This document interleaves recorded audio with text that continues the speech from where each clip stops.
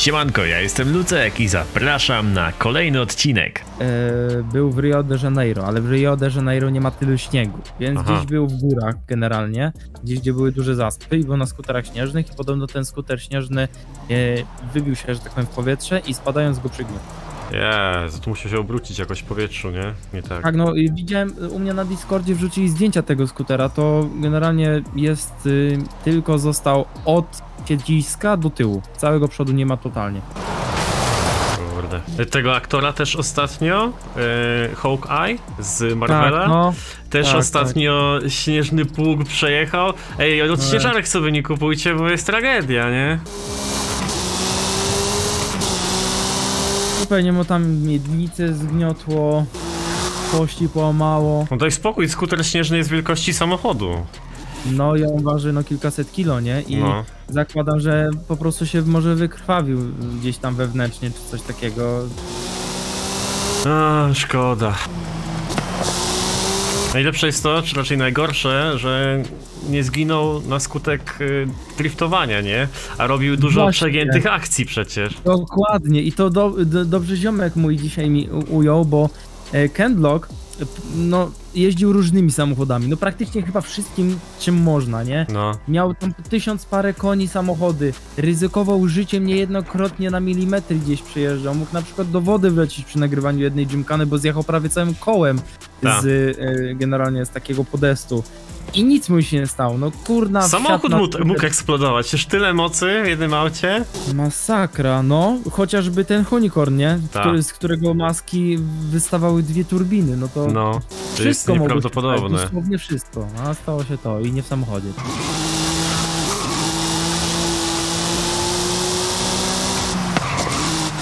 Jak to bez gadania, ja nowy mikrofon kupiłem specjalnie na streama, a nie no to spokojnie, to zostaw sobie tego asa w rękawie, słuchaj, bo my jeszcze będziemy gadać, e, że tak powiem, na, na, na mikrofonach, będziemy robili troll na mikrofonie. Tron. No ale to innym razem. nie? O, bardzo ładny Porszak.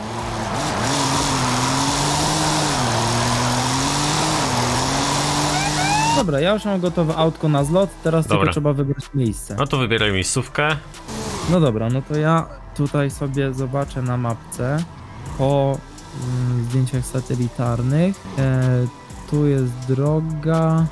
Zostawimy się tak troszeczkę z boku, bo tam mamy troszkę większą przestrzeń, taką otwartą. No i tam obok siebie, jak już wolicie. Tylko nie przepychajcie się, wiadomo, wszystko po kolei. Mamy czas. No dokładnie, my tak.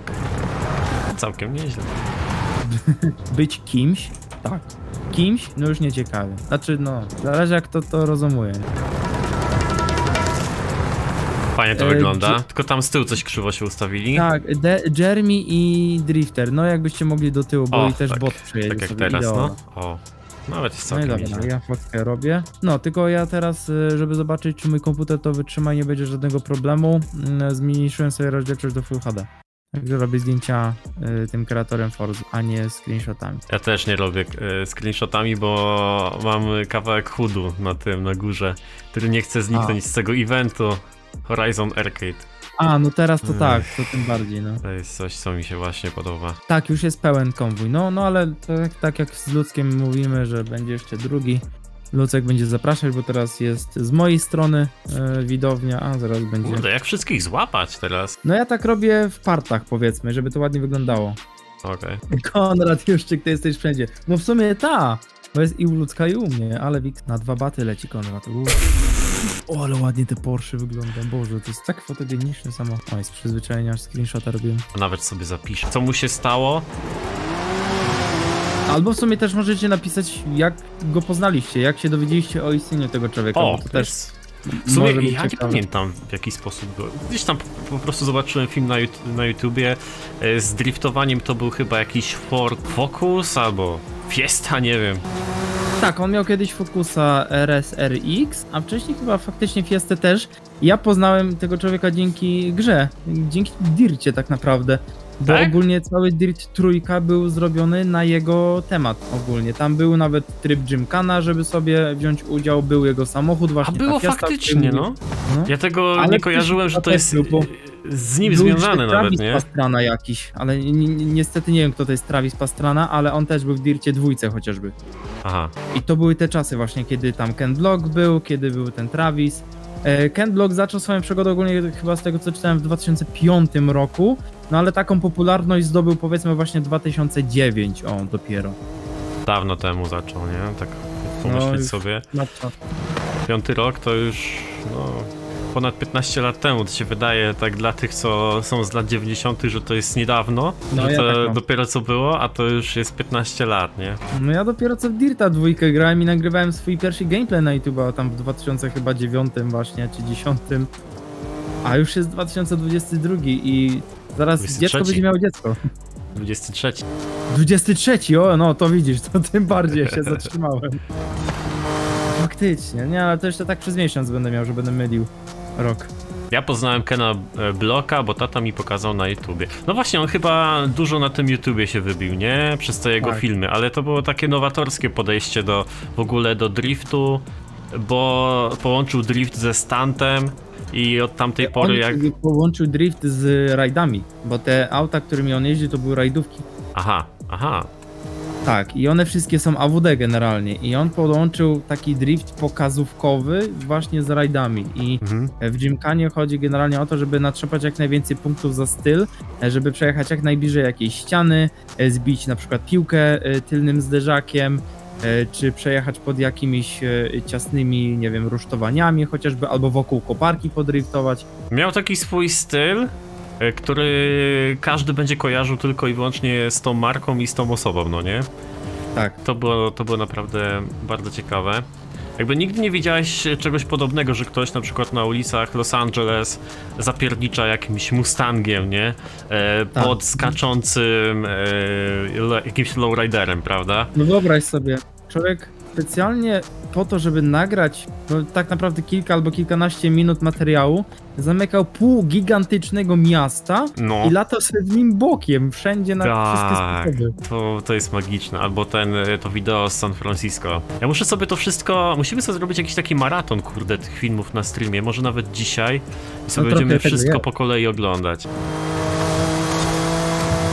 Pogramy sobie, zrobimy sobie jeszcze jeden zlot e, ze mną, z moimi widzami i sobie zrobię chyba taki maraton e, z oglądania tych właśnie jego najlepszych e, kawałków.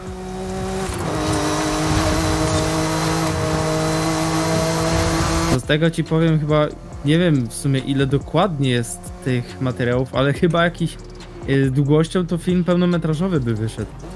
Myślę, że na spokojnie, tak z godziny oglądania będzie.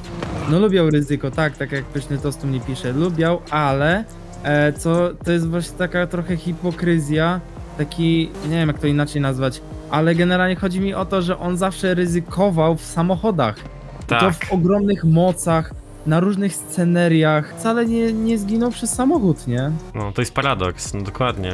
Paradoks, o właśnie. Ken Block miał 55 lat. I zostawił żonę i trójkę dzieci. No, był znakomitym showmanem też przede wszystkim, Tak, bo no. dużo pomysłów też wychodziło po prostu od niego. Tak, różne, różnego typu współpracy.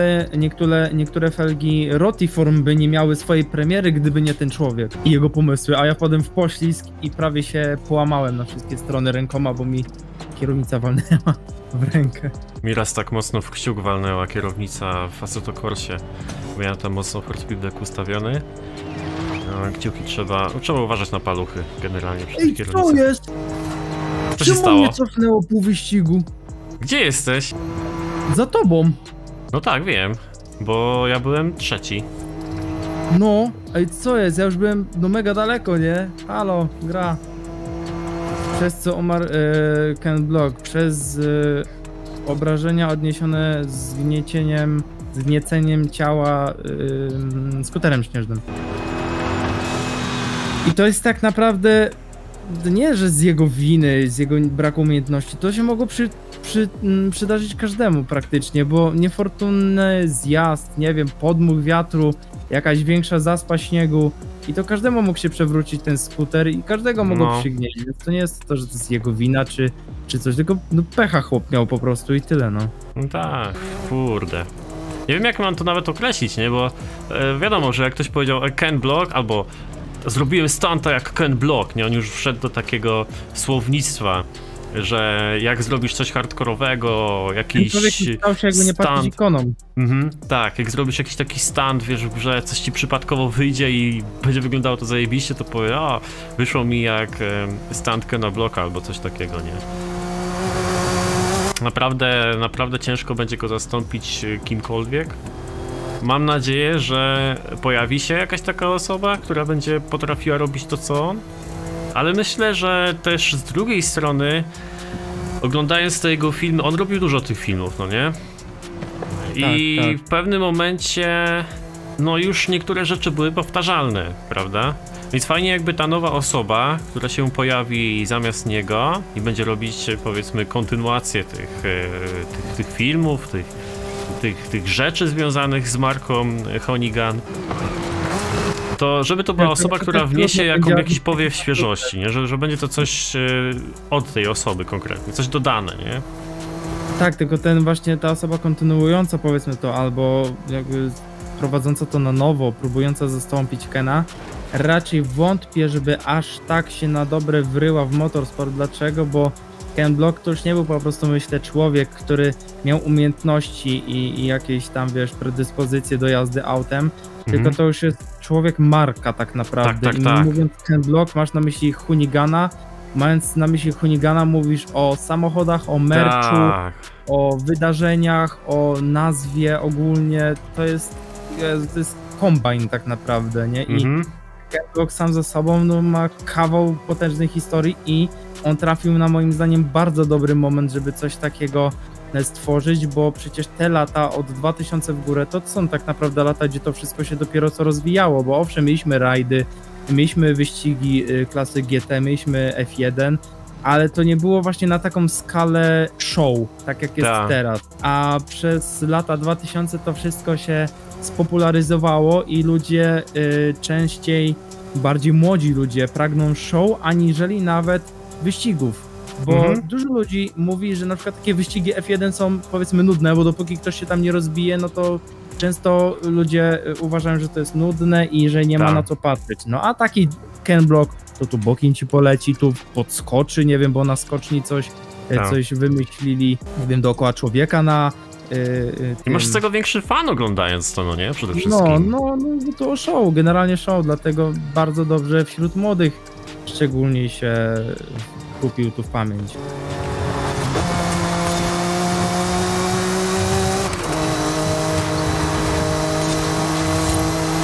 Szkoda, szkoda, kurczę. Jak sobie o tym myślę, że już nie będzie z nim filmów, to tak jakieś totalna abstrakcja, nie?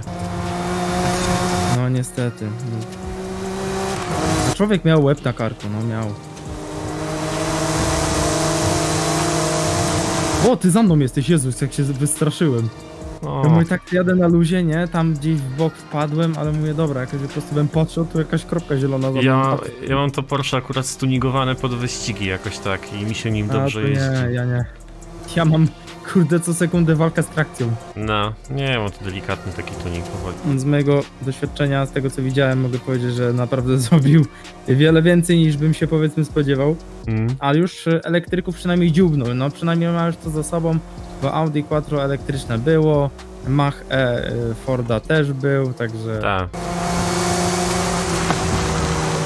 wiadomo, zawsze jakiś niedosyt zostanie, bo to nie można No. powiedzieć, że e, zrobił dosłownie wszystko i już nic więcej by nie musiał nagrywać, bo widziałeś dosłownie każdą rzecz.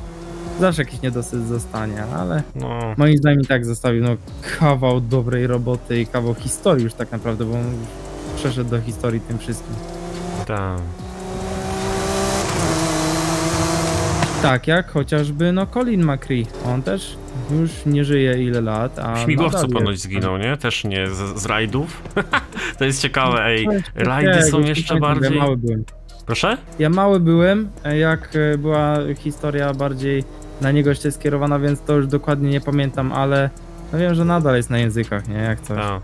To jest ciekawe, nie? Bo przecież rajdy są ekstremalnie niebezpieczne dla kierowców i dla pilotów. No może przykład naszego Kubice, nie? Który No. wylądował w szpitalu w ciężkim stanie przez rajd. Tak. Wiesz, wiesz jakie tam prędkości między tymi drzewami się jeździ, samochód nieraz w powietrzu odbija się gdzieś tam od ziemi, inne rzeczy robi, nie? Szczególnie jak twoja droga, nawet nie asfalt, nie utwardzona ziemia e, ma, nie wiem, półtora metra szerokości. No. To jest po prostu i też zginął e, ponoć śmigłowcu, już też nie dokładnie pamiętam, ale jakoś tam ze śmigłowcem coś miało mm, to wspólnego. Kurde. Chyba w Polsce nie mamy polskiego- polskiego Ken Blocka, nie wiem kto mógłby być polskim Ken Blockiem, przynajmniej na YouTubie nie kojarzę. Jak myślisz? Yy, Geekster? A Handblockiem to może nie i on nie nagrywa po polsku, ale jest taki polski youtuber o nazwie Carmighty Mhm.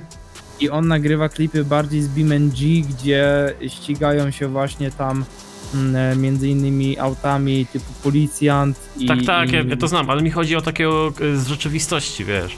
No ludzie piszą, że Budda może. Budda, ja wiem, on, znaczy Budda jest na pewno showmanem, ale robi Ale fajne rzeczy z tych chyba- samochodów. Znaczy, no drift, y, driftowy samochód miał, ale jego content na YouTubie nie opiera się o to, mi chodzi w 100% na, na drifcie, nie? Na przykład, Mhm. więc no nie wiem, czy można tak. Tak, Carmighty jest z Polski, on bodajże z Krakowa jest.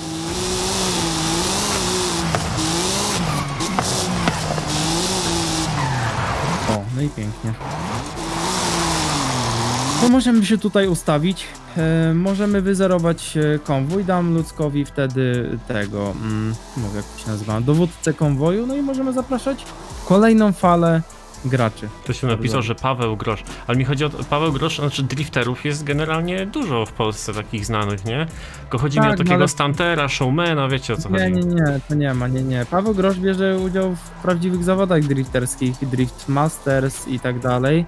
A taki showman jak Ken Block, który driftuje po mieście, no to nie, no Paweł nim nie Pomysł. jest. Chyba, że. mm, mm, Ale on nie driftował w sumie. Boguś był kiedyś taki. Ja nie wiem, jakiego historia się w końcu skończyła? Chyba w więzieniu. Też nie mam pojęcia. Wiem, Ale- że był w więzieniu, ale czy z niego wyszedł, czy koniec końców dostał jakąś karę finansową, nie mam bladego pojęcia. Tematu cicho. Mamy tu następną grupkę. Chodźcie się ustawimy tutaj, w sumie na parkingu skończyliśmy poprzedni zlot, nie? Z grupką No. Marquisa. Teraz na czterem masz? Teraz mam na tył. Tył jest lekki w tym aucie, musiałem dać szerokie kapcie, żeby było stabilnie. Dobra, tak, no to, bo masz silnik z przodu, nie? No to jest duży plus. Mm, chodźmy sobie w takim razie, zmienimy trochę klimat z lotu i pojedziemy sobie, moi drodzy, tu. I jedziemy sobie spokojnie, razem wszyscy. Możecie sobie driftować jak chcecie, o to tu chodzi, żeby robić stanty, ale no mimo wszystko postarajcie się ze sobą nie zderzać. Jedziemy sobie do celu, jedziemy generalnie do dżungli O, i bierzemy honigany, bierzemy samochody Kena Blocka. Ja widzę, że tutaj e, Koenigsegg się pojawił. Skąd? myślę, że Koenigsegg nie był zainteresowany e, Kenem Blockiem i na odwrót. Chyba tak. A czy może Ken Block byłby zainteresowany, tylko że oni nie mają samochodów santerskich, no. Wiesz co, myślę, że to nie ta klasa. No, Nie ten typ samochodu. tak. Tam w ogóle Ken Block chyba żadnego superkara nie miał, albo hiperkara. No, teoretycznie tak, ale z drugiej strony te samochody jego przyspieszały od 0 do setki w sekundę, nie? Więc No tak, tak, tylko klasa to zupełnie co innego, nie? A osiągi. Ale widziałem nawet któregoś razu, pamiętam, był film, w którym e, Ken pokazywał, jak jego Mustang, ten Unicorn, e, No. przedstawia się na tle innych samochodów i oni się tam drag ścigali. tak? I coś było chyba, że on z Bugatti się ścigał, czy z jakimś innym mega szybkim samochodem, ale nie pamiętam jaki model był. O, ciekawe, będzie trzeba wyszukać tego w sieci. I to dość niedawno było, powiedzmy, nie wiem, chyba z rok temu może.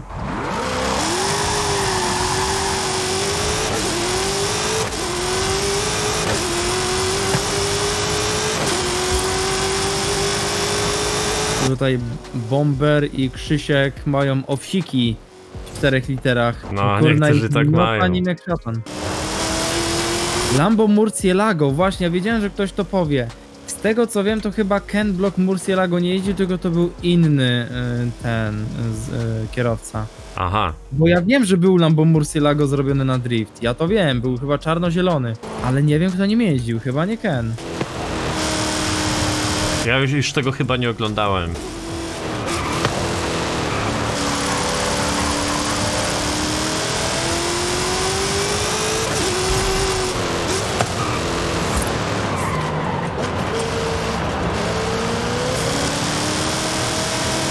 Jak tu wszystko rozwala? No tak, no.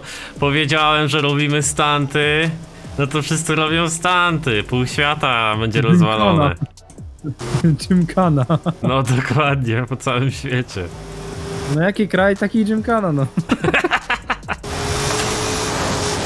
Ten Nie jaki szeroki. Jest, tylko Lucek streamuje na Twitchu.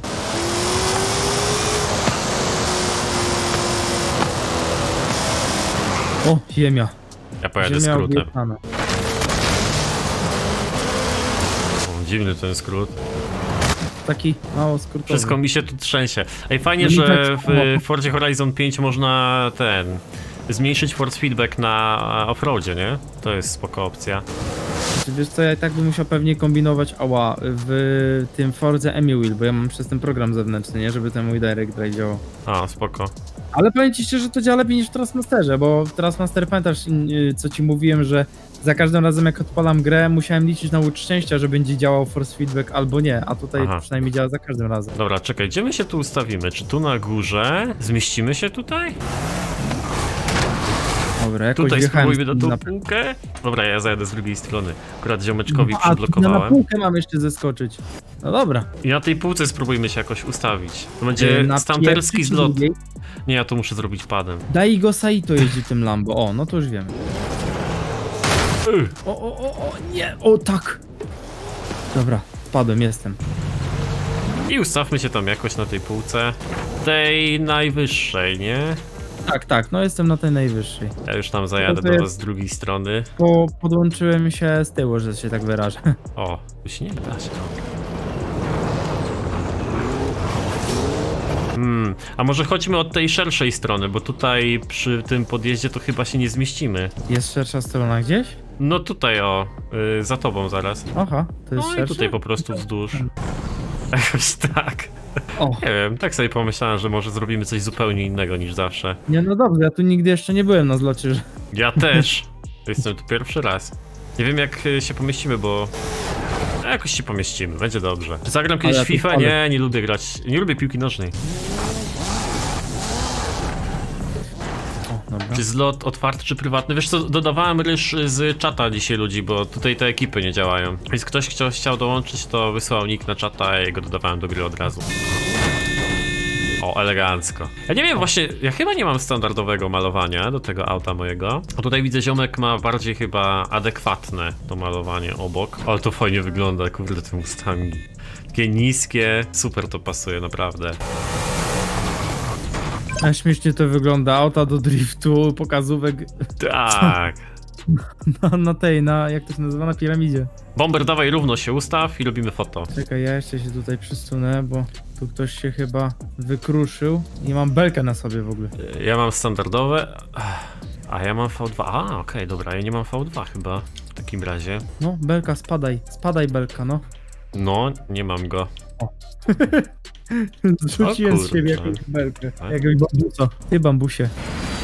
Dobra, gotowi? Gotowi, robimy foto. Ej, ale jasno. O, i tu ktoś u mnie jest przezroczysty, Na zdjęciu? no. Dlatego mówię, że żeby ludzie nie, nie wychodzili z tego trybu, do, do, do trybu zdjęcia do pauzy, no bo później o, przezroczyści są. Czekaj, ja umiem wszystkim samochody. Patrz jaki dobry człowiek. Nie, no bo tu jeden był taki urąbany. Tu chyba, okej. O, ale fajna Sylwia. Ale to jest chyba Formuła Drift. Tutaj jakieś takie malowanie dziwaczne. W ogóle ty też masz takie jasno w grze, takie odbicia straszne? Tak, ja tu musiałem ekspozycję zmienić. Słońce chyba w zenicie teraz. Ja pierdzielę. Matko Giga szkoda jedyna. na bloka, no. Wiecie, Ale to co? Idzie dostać e, oczopląsu. Albo wszyscy zróbmy. O, najlepiej będzie zrobić skok na tym opuszczonym lotnisku. Tam sobie pojedziemy, ok? I tam sobie zrobimy Dobra. wszyscy razem taki skok, e, skokkę na bloka. W sumie e, tu by pasowało, żeby zrobić też zlot, no nie?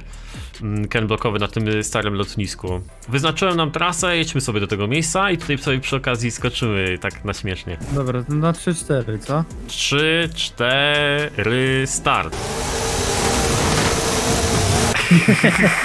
Jezu, jaka lawina. Ej, to mi się przypomniał, wiesz co? No. E, był Fast and Furious taki, e, takie ujęcie, gdzie Tak. e, samochody kontrolowane przez komputer spadały z parkingu. Tak, ma być jakiś. Ta babka ma powrócić do serii Fast and Furious. Paul Walker też ma powrócić. Drugi raz mają go wskrzesić. Tak? No. A czy on chyba w serii nie umarł? W sensie w filmie, nie? Tylko on umarł E, w rzeczywistości. Ja pamiętam, że on odjechał po prostu. Tak On po jakby. prostu się rozjechał, gdzieś tam pojechał w swoją stronę, nie? Ale nie było czegoś takiego, że on umarł. Także znowu postawią brata, wkleją twarz kogoś, wiesz, jego i tyle, nie? Przecież mają No tak, zeskanowaną. na pewno.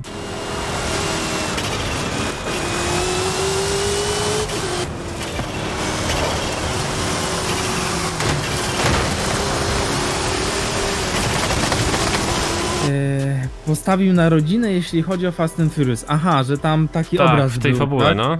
Mhm. To by Okej. się zgadzało. Ale no, w, No tak. w sumie nie zginął, z tego co ja rozumiałem z tego filmu. Tylko się po prostu rozjechał, nie? I to była Tak, taka... on nawet Michał pisze, że Walker był w filmie wspominany, mówił, że został z rodziną. No to tego już nie pamiętałem, no, no to dzięki za sprostowanie. No tak, bo on tą białą suprą bodajże jechał i oni się tak rozjechali na tych drogach na końcu filmu, no i pewnie później było je wspomnienie, że został z rodziną czy coś.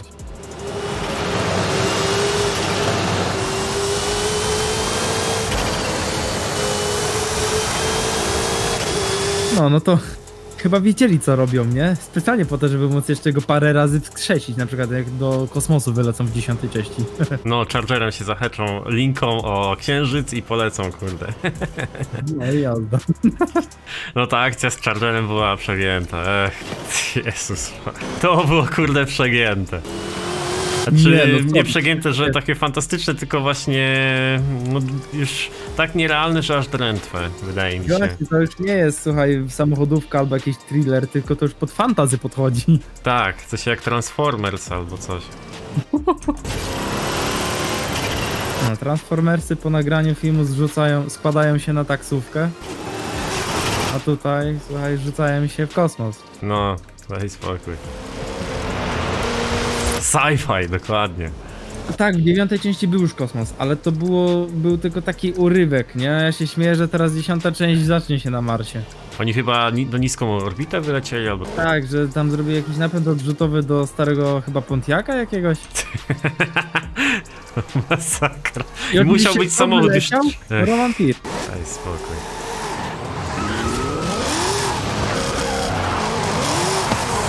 Dobra, czekamy na wszystkich i robimy mega skok.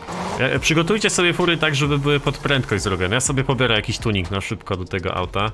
Zobaczymy, No co tam. kurda. Żeś mi dał teraz wyzwanie, no dobra. No, żebyśmy tak skoczyli fest. Kurde, co ja mam tu porobione z tym autem? Jezu. Giga cię będą spotkami. Nie, wiesz co, ja myślę, że pożyczą ten statki z Gwiezdnych Wojen. Dragowe opony, okej, tutaj jakieś mam. Mam jakiś tuning. Ja mam pod drift i pod przyczepność jednocześnie? Hmm. Widzisz?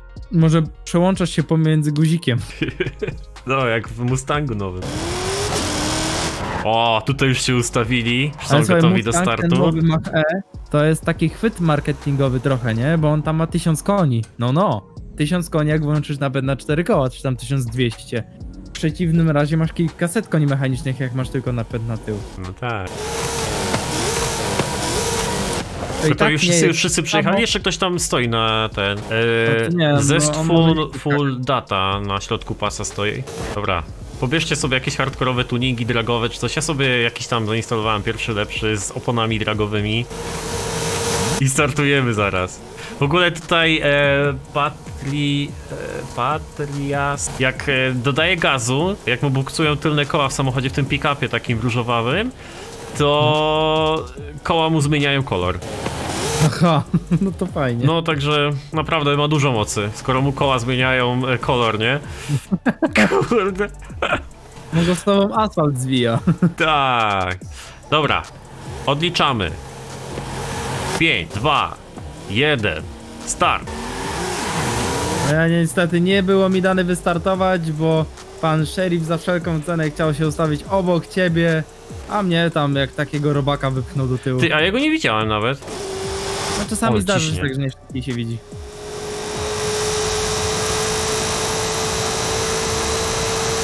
Ty, no nawet szybko Ole polecieli, patrz, patrz, patrz, patrz go. Ja mam wszystkich was z przodu. O Jezu, nie dolecę tam gdzie wy. O nie, no to nawet nie ma o czym marzyć. Lecą! Ja w wodę wpadnę co najwyżej, o. I nawet nie powodzenia. Ja też do wody spadłem, tak na brzeg. kiedyś amfibię od Porsche? Za tobą jestem, jestem amfibią od Porsche normalnie. No widzę właśnie, no. No jest ciekawe, że do kokpitu się woda nie nalewa. To nie? Wiesz, No, to są dobrej jakości niemieckie uszczelki. Tak, niemieckie.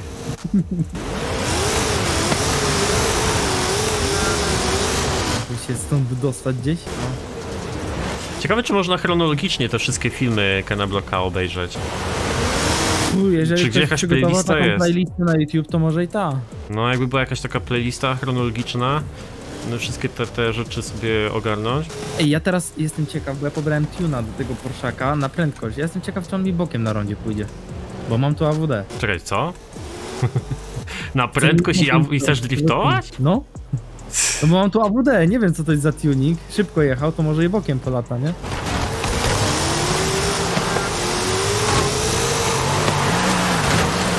Nie, tym samochodem moim nie da rady, mam dragowe opony.